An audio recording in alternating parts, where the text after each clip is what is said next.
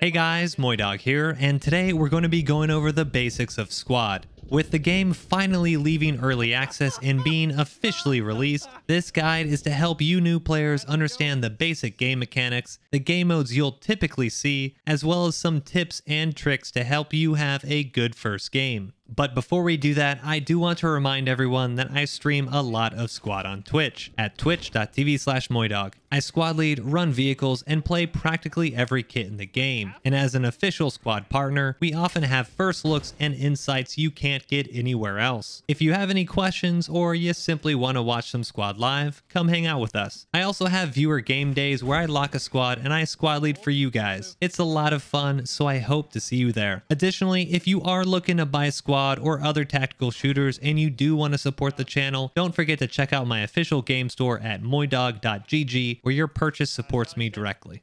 So you finally did it. You bought Squad, you downloaded it, you installed it, and now you're about to jump into a server, but you're kind of nervous because you don't want to go in game, meet eight strangers, and screw something up. I get it. Squad can be kind of intimidating, but honestly, it's not that bad if you just take it step by step. After installing the game, the very first thing I would do as a new player is complete the tutorial, which you can find under the training tab. Now, I know it might seem kind of a cop-out for a intro to squad video to say, hey, just do the tutorial, but honestly, it's a really well-made tutorial. The tutorial is about 10 to 20 minutes long, depending how much time you spend wandering around and looking at each station.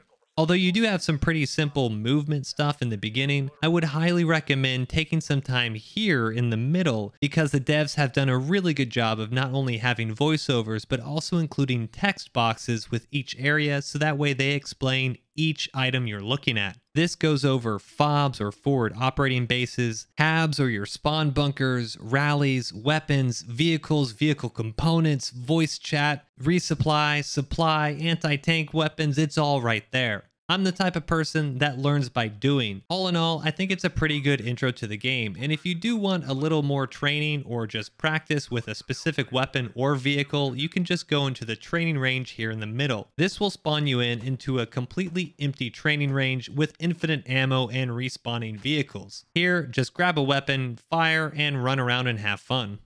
Now, I often get asked, okay, I completed the tutorial, but what next? I keep joining a game and I still have no idea what's going on. What's the point of squad? And although it may look like a complicated game from the outside, it really is quite simple. At its most basic level, Squad is just two teams fighting over objectives in an attempt to reduce the enemy's team ticket count to zero. Now, these objectives change depending on the game mode and can result in you attacking, defending, controlling territory, or searching out weapon caches to destroy, but ultimately, it's still all about these tickets.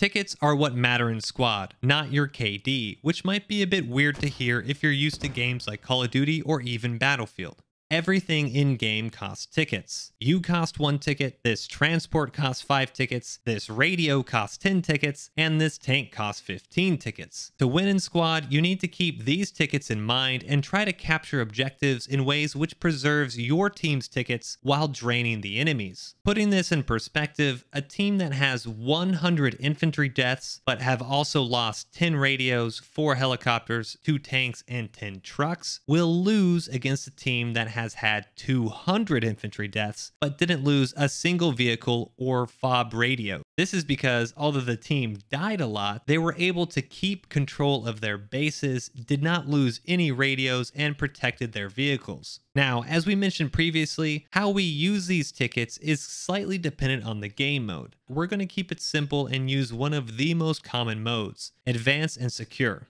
In Advanced and Secure, or AAS as you'll commonly hear it, two teams start on opposite sides of the map and capture objectives along the way. These objectives also cost tickets, and capturing a neutral point rewards your team with plus 20 tickets. Capturing an enemy-controlled objective gives you 50 tickets, however, while removing 20 tickets from the enemy. This might be a bit confusing, so let's take a look at an example. Both teams start the game with 300 tickets. They both capture their first two objectives, which give them 20 tickets each, resulting in 340 tickets aside. Now, the teams finally meet in the middle, and they begin fighting over this last point. During the fight, Russia loses two infantry squads, a truck and a helicopter, whereas the US loses one whole infantry squad and a truck before they eventually capture it and gain 20 more tickets. At the end of the fight, Russia has 312 tickets, whereas the US has 346. Soon after, Russia counterattacks the point, resulting in the American base being destroyed, as well as the infantry squad defending it and a helicopter, while only losing a couple Russian infantry themselves. After the attack, the Americans currently have 302 tickets, while Russia has 310. But they control the point and are neutralizing it, and then they eventually capture it. Once captured, they will receive plus 50 tickets and now have 360 tickets, while the US will lose 20 tickets and are now at 302 tickets. This constant back and forth with tickets is what can make games incredibly fun, intense, nerve-wracking, exciting, and pretty much every other emotion you can think of. Ask any squad vet, and I'm sure they have had their own war story of that one game they played way back in the day where their team had been absolutely stomped on for an hour before they finally managed to claw their way back by destroying a couple vehicles, knocking out a couple radios, using medics to revive and save their fellow infantry players, only to somehow come out with some amazing last ditch defense and capture a couple points in order to gain the precious tickets they needed to win. Now that you've played the tutorial and we also have an idea how the tickets and game modes work, it's time for your first game. One of the best things about Squad is that it is one of the few games nowadays that has community run servers, which means that clans and gaming communities host their own server and have their own admin teams make sure everyone plays by the rules. Instead of matchmaking, you can simply search the place that you want to play day in and day out, and more often than not, players stick to one or two servers every time they want to play Squad. I'd recommend finding a server that gets you about 100 to 150 ping. And if you have a good game or two there, keep going back to it. Usually you'll start to recognize player names and soon realize that, hey, that guy's a good squad leader, or hey, maybe he's a good pilot. After a while, you'll start to build in-game friendships with people that you can rely on when things start going crazy. Additionally, since these are community servers, many also have related Discord, so I would highly encourage you guys to go and check out your server's Discord and really become a part of the community. When you join the game, you'll want to first join a squad by clicking the join button here. Once in squad, I'd strongly recommend using your microphone and telling your squad leader that you just joined and that you're a new player. Don't be scared. Squad leaders usually want to help you, and they will tell you where to spawn and what's going on in game. So although it might be intimidating jumping in and talking with 8 strangers, I've found that most of the time these are positive experiences if you're willing to learn and communicate.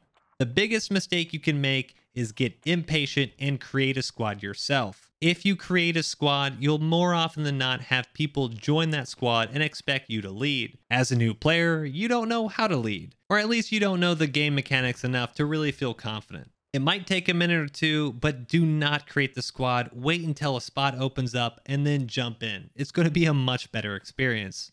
As a new player, I would encourage you to stick with the Rifleman kit and try to pick one with the most powerful optic. As a Rifleman, you'll also be equipped with grenades and smoke, as well as an ammo bag which your teammates can rearm off of, which is incredibly helpful for your team. You'll hear a lot of people recommend playing Medic if you're new, and although I don't completely disagree with that, if you are new and you're not sure what you're doing, it can be really stressful trying to stay alive yourself while healing and keeping your teammates alive when you don't really know what's going on. As a Rifleman, all you have to do is stick with your squad and follow their lead, which means you'll be able to spend more time listening to your team and learning the map instead of lying down healing someone. Although there are many more kits in squad to choose from, as a new player, let the more experienced ones take the fire support and specialist roles until you become more familiar with the game. Unlike Call of Duty or Battlefield, you have a limited number of roles per squad, and if you take a marksman kit, it could prevent your squad from having an anti-tank kit, which could be super important if you're on a map with a lot of vehicles.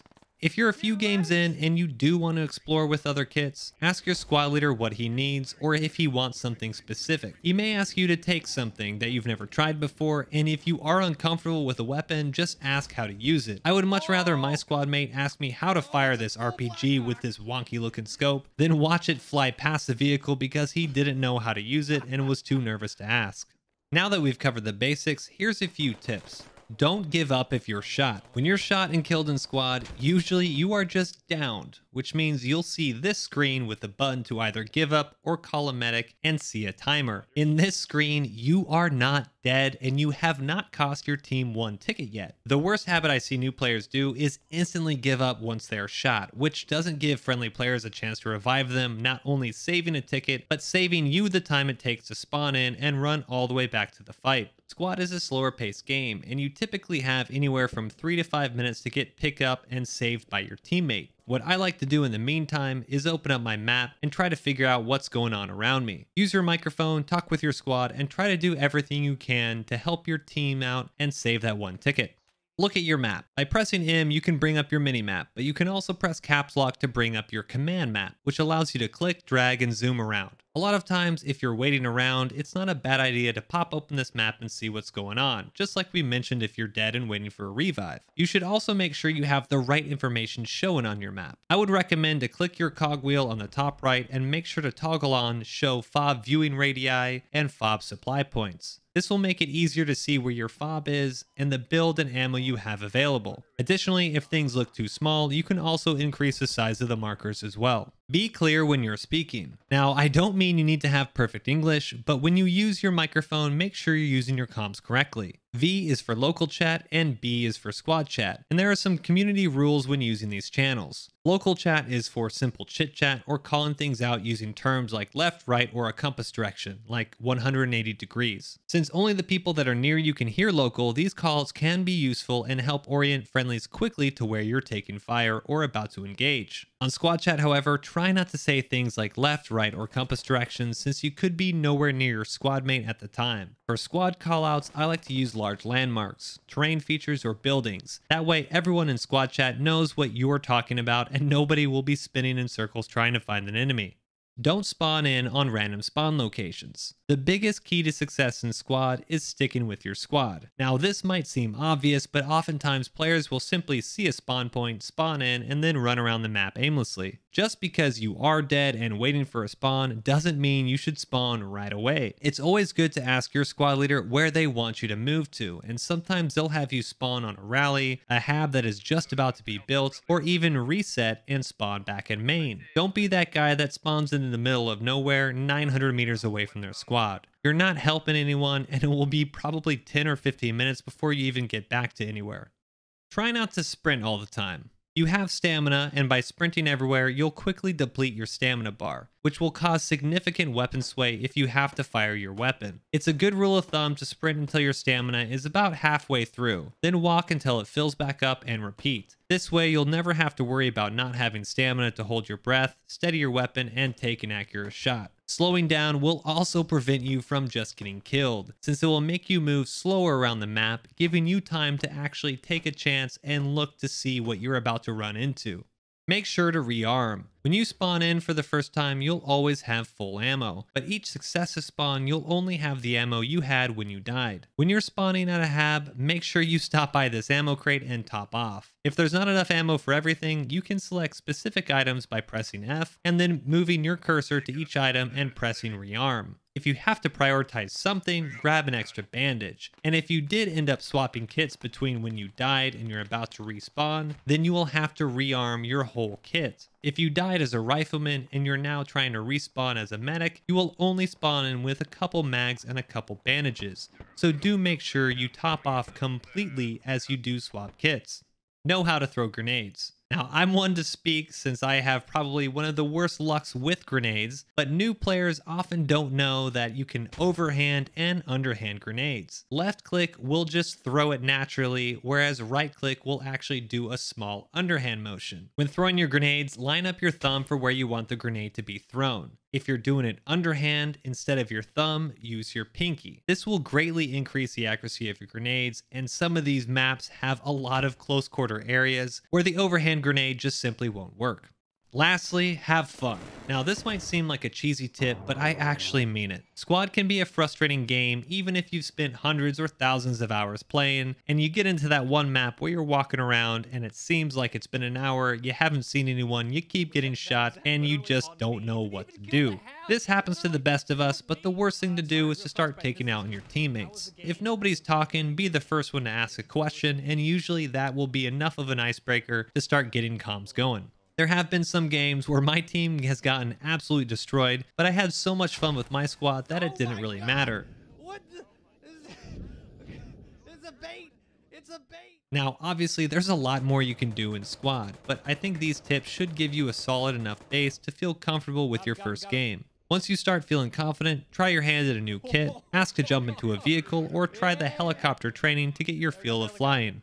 There is so much you can do in Squad, and with the amount of game modes, weapons, vehicles, and maps, even after thousands of hours, I can honestly say that I'm still learning. Well, that's about it. Did I miss anything any of you squad vets think I should include? Or do any of you new players have a question that maybe I didn't answer? Drop a comment below and I'll try to get back to y'all as best as I can. If you liked the video, give it a thumbs up and subscribe for more guides and gameplay. But that's it for me. Good luck in game and see you next time. Peace.